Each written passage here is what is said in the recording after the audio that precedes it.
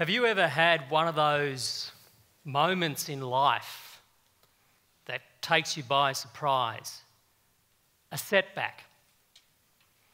And you find yourself asking yourself that, that really big, hairy question so, what do I do now? Have you ever had that? I have. 18 months ago, I sat on King's Beach pondering that very question. As some of you may know, I was the, I was the poor bloke who got beaten by Clive Palmer at the last election. and, and you know, I, I had never been bitten by a dinosaur before. I tell you, it, it, it, does hurt. But I, I don't say that to, to scare you, I really don't, because since then, no one has seen that dinosaur around this local area since.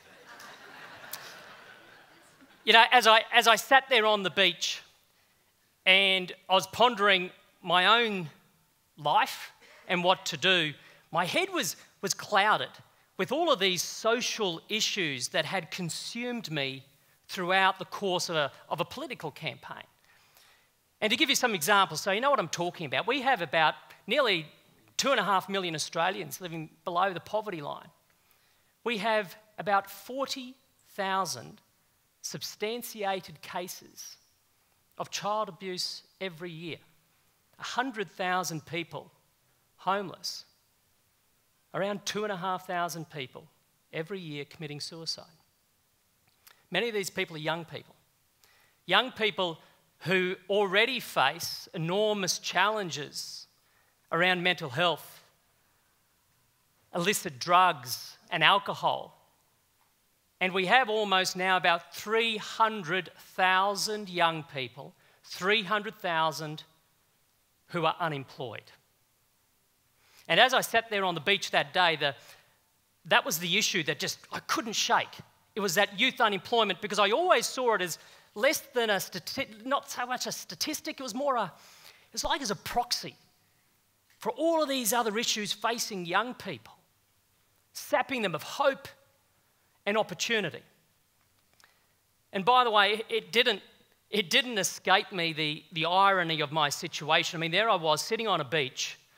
I didn't have a job myself, and I was wondering how to solve unemployment. I mean, seriously, a bit thick in the head or something, but work that one out. You see, the, the problem is, though, I knew that thanks to my own background, I'd be okay. I'd find work, and I was. I was okay. But whose responsibility was it to look after the thousands of young, unemployed people on the coast looking for a job and they just couldn't find one? Do we look to government? Do we look to the marketplace? Over recent decades, we've become so overly reliant on both. We've looked at government and big business, the marketplace, to solve our biggest social problems. And you know what? That's probably all well and good when they're flush with cash, when their balance sheets are looking healthy. But nothing lasts forever.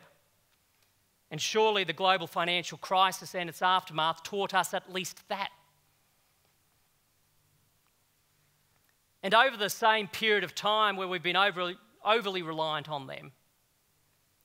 We've also neglected a third sector of our society, that which we refer to often as civil society. Sometimes nowadays we just use the expression of the community sector. But civil society has been eroding. Family units have been breaking down, not strengthening. People's spirituality has been waning, not enriching. Volunteers have been falling short of demand, not exceeding it. And trust, trust in our public institutions, that's been dissipating, not building. And so, whose responsibility was it as I sat on the beach thinking about youth unemployment? Well, as far as I was concerned, it, it was mine. It was mine as much as it was anybody's. But in wanting to do something about it, I wanted to do it in a different way. In a way that was positive and not negative.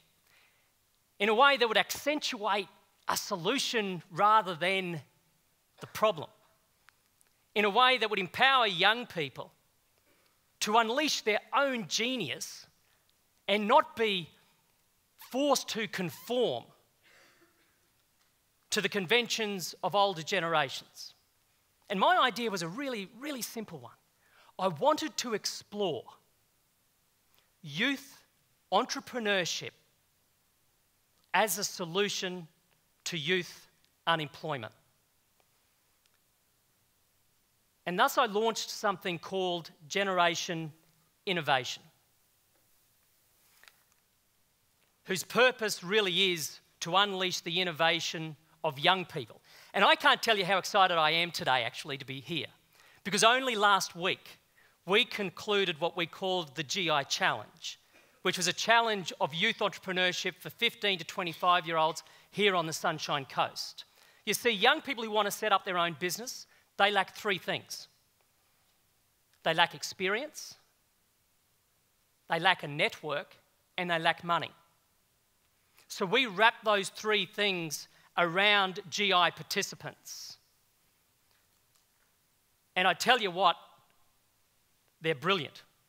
Some of them are straight A students, some kids at risk, some out of school and out of work. But I tell you what, with the background that I have internationally, with some of the world's largest businesses, I kid you not, the genius and the talent and the insight that comes from these young local people is as best as good as I've seen around the world because we've unleashed their genius. We've wrapped around them the things that they currently do not have. And as of last week, we now have three ventures about to launch in the marketplace a, a food retail concept, Swift Smoothies, a social enterprise called Koi Crew, and a technology startup called Holographic Estate.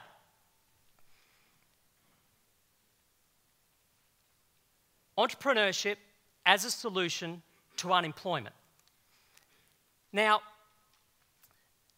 the GI Challenge, beyond being an initiative with that objective in mind, was actually a lot more than that. It was, in fact, a pilot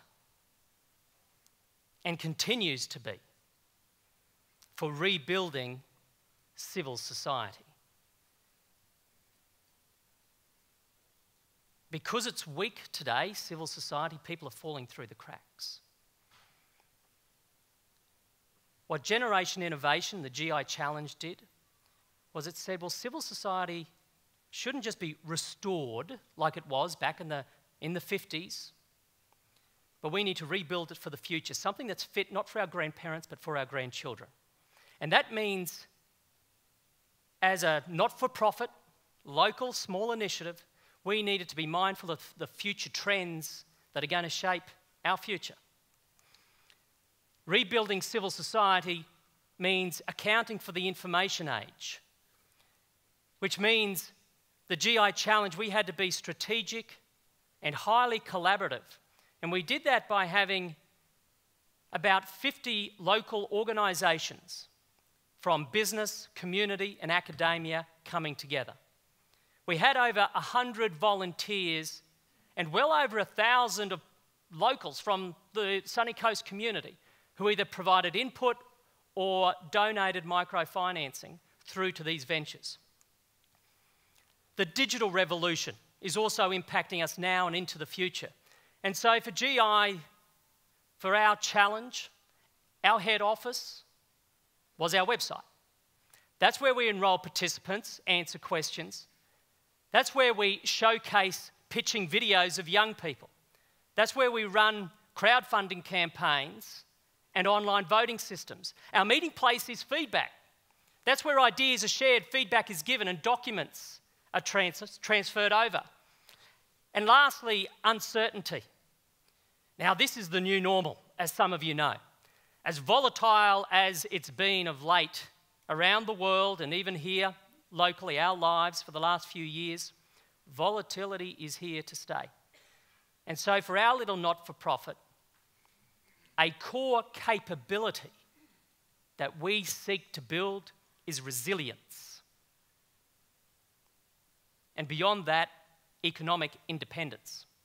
And so, as much as our underlying mission is a social one, not, not one dollar, not one cent has come from government for the GI challenge. Now, it's one thing to look at this and to talk about a small local initiative, but it's quite another to think about how we can do that on a grander scale. Because therein lies the real challenge of rebuilding civil society. I'm talking here about a degree of collaboration that has never been seen before. I'm talking about community groups and individuals leveraging technology, people who, and groups that currently don't even use it, leveraging it. I'm talking about organisations being prepared to wean themselves off government funding, re engineering their business models, and revisiting the very meaning of volunteerism. These are big things, big asks. In fact, they require a cultural shift.